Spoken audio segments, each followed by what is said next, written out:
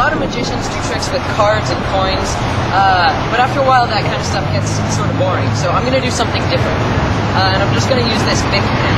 I want you to watch carefully because it happens.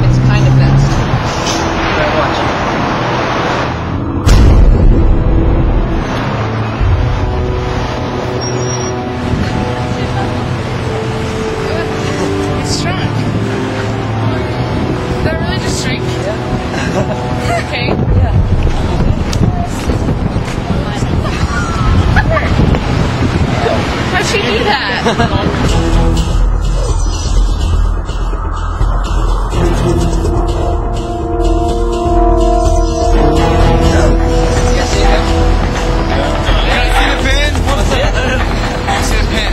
wait, wait.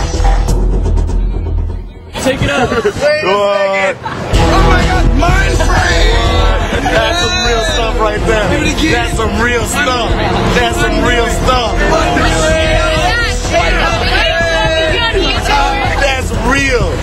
An OG right there. He real.